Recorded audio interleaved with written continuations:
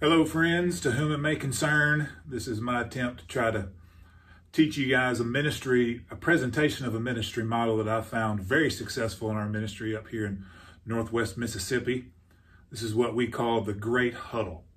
This is one of the main plays, one of the main methods that we use to train or orientate principals, coaches, volunteers, donors. It does a great job of capturing a, from a large scale perspective what FCA campus ministry is trying to accomplish. Let's start with the end in mind. In presenting this, start here. This is the goal that we're trying to accomplish. If everything that we do does not funnel down and impact these two things, then we're missing the mark. Down here, what we're trying to accomplish is our mission.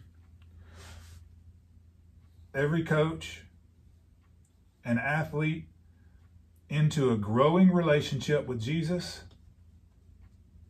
and in his church.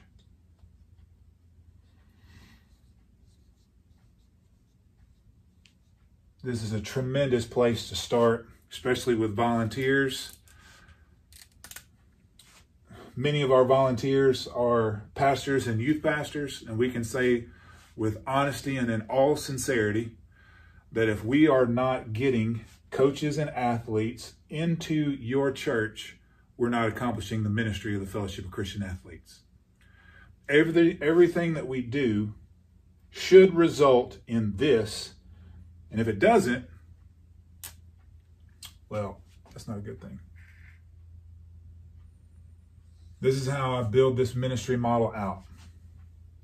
At the top are our FCA staff. Again, this represents campus ministry in one of the sports pillars. As FCA staff, this represents one campus. If as an FCA staff person, we can find one huddle sponsor someone to sit at the top of the spear, someone to see the complete vision of what FCA is trying to do. If we can get this person to see what a great huddle does, not an average huddle, not one where we show up for a, a yearbook picture, uh, we have a, one or two meetings a semester. We want this person to see this opportunity as the paramount ministry in their life. More impactful than a deacon, Coach Tony Dungy said that a coach is more influential than the parents are. Of course, Billy Graham, a coach will impact more young people in one year than the average person does in a lifetime.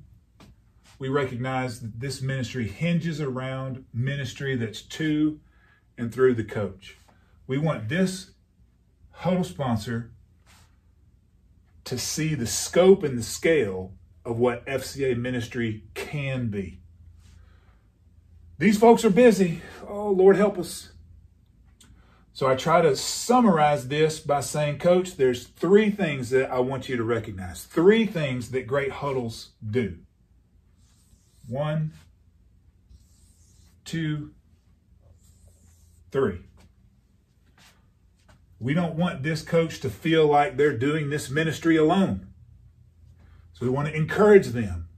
Is there any other coach on this campus that you can engage in this ministry and this work?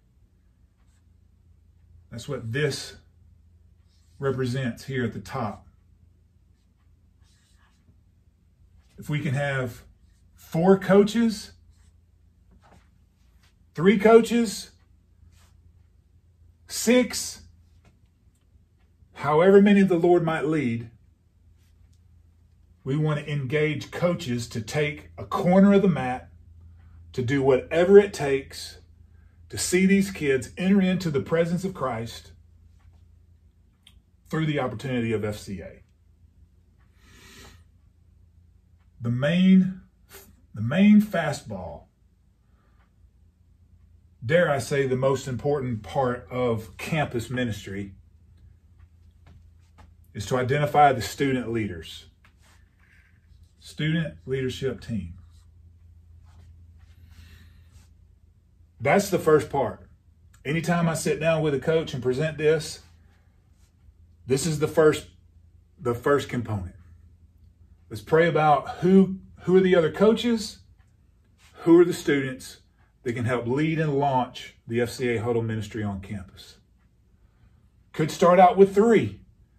Might be one kid, six. Jesus' model was 12.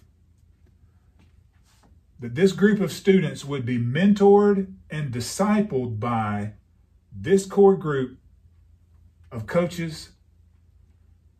They are the ones that are leading the ministry on the campus.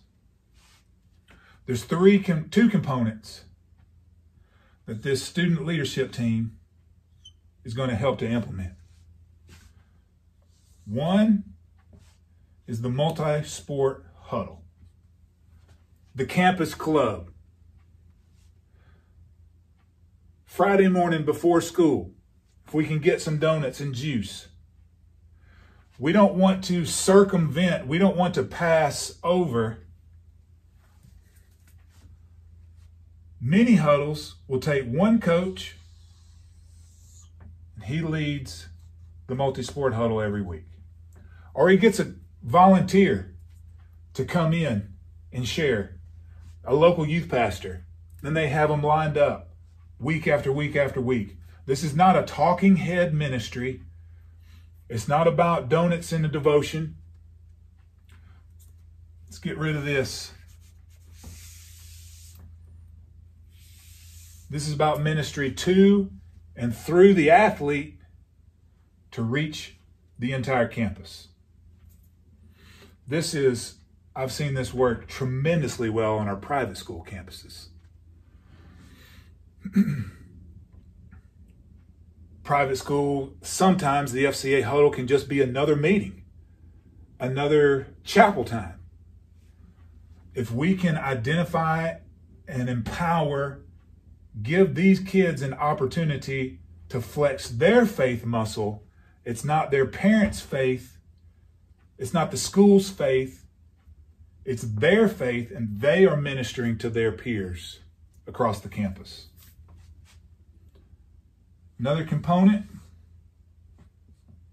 is team ministry. These kids can help lead devotions for teams.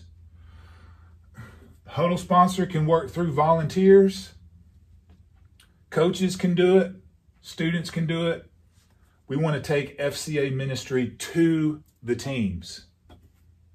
The coach says, all right, guys, we're going to have FCA devotion. Football player does, football coach does this, says take a knee.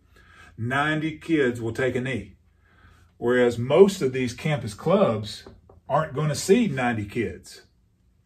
So this is the model by which we are taking FCA to the teams. We are not asking them to come to FCA.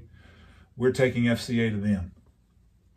This, the multi-sport huddle, is the opportunity for the students to lead in their faith to reach their peers. When we do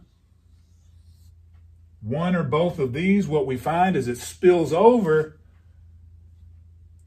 till we reach the entire campus. not intentionally, not registering the campus. We register multi-sport huddles. We register team huddles. We register coaches huddles. But when we do multi-sport and teams, it spills over because of the influence of the coach. We get everybody. That's one, the student leadership team. Another component that I've mentioned are volunteers. If we're going to reach every coach and every athlete, you, John Q staff person, are not going to be able to do it by yourself. We're going to need an army of volunteers. There could be multiple volunteers on one campus. If this huddle sponsor can help identify which teams, football, baseball, softball, as an example, that they want an FCA presence on their team, then we need to work with the coach to find out which teams need how many and let's line it up. These volunteers certainly need to be MLA certified. In the future, this will be a tremendous opportunity to get them E3 trained.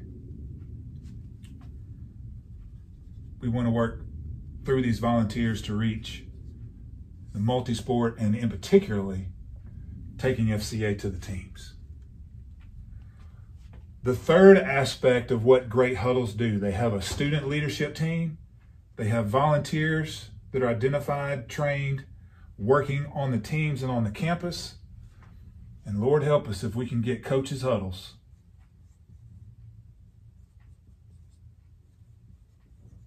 What I've seen this be is relational groupings of football staff. We can get a coach's huddle.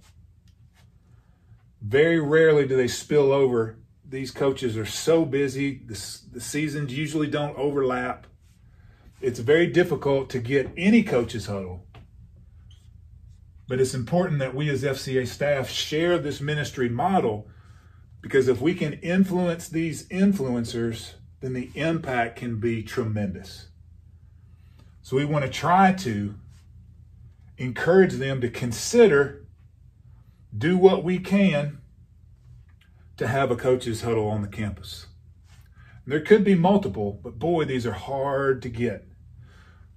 But a lot of times, coaches are not even aware that we want to try to get coaches together. FCA has been getting student huddles together for our oh, near 70 year history. The idea of coaches getting together is really rare, but this can be done. And certainly when head coaches get this in their mind, it can become a priority and can be significantly impactful.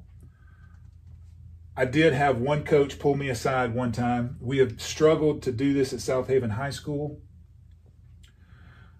My example and story to tell this coach pulled me aside and said, Man, we've got to get that coach's huddle back. That is the best thing that we do as a coaching staff. That's what the coach testified to me. But boy, they're hard to do. Starts with telling them about the opportunity. When coaches are impacted, teams are impacted, and they can certainly take their place in helping with the multi-sport huddle as well. All of this to the mission of leading every coach and athlete into a growing relationship with Jesus Christ and getting people in his church. Let's not forsake prayer. If you have a prayer team, get them praying about each campus. There might be folks in the community that have a particular heart for this campus, if this represents Southaven High School to get a group of people that are consistently lifting up prayer needs, that are informed, that are engaged. If the Lord doesn't build the house, we labor in vain that try to build it. If we try to move in our own strength, none of this stuff is going to work. If we can have prayer teams set up around each campus, and certainly what this does, it becomes also a mission mobilizing arm if this group becomes aware of any needs, camp scholarships, resources, Bibles, books, donuts, whatever it is, this is a tremendous opportunity to engage the community and some prayer warriors. So for this group just to rain down prayer consistently, strategically, empowering all this ministry to take place. These are what great huddles do. This is how I present that model. I found a lot of success in doing it.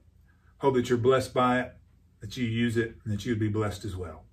Thank you much. God bless.